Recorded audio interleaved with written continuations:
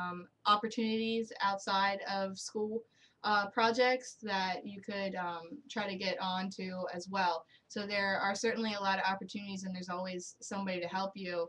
And as Corey was saying about teachers here, um, a lot of times you'll just kind of get attached to a teacher, almost like a mentor. theater here and when theater or movies are still in theaters we get our our teachers bring in the DVDs and we get to watch it so that's kind of cool Yes. Also to clarify, uh, when he's talking about UPM, uh, when I started in the school, I had no idea what that was. So if you're wondering what that is, it's called a unit production manager, and it's attached to. Uh, it's called a UPM AD class, and AD uh, is assistant director. It's a Mhm. it's an interesting class where you learn budgeting and scheduling movies, and uh, th- those teachers really have a lot of experience. But so do Right. many many other teachers in the school. most of the teachers, almost 98% of the teachers here I would say are working in the industry. They have jobs and they uh, um, so they know what they're doing. They really do.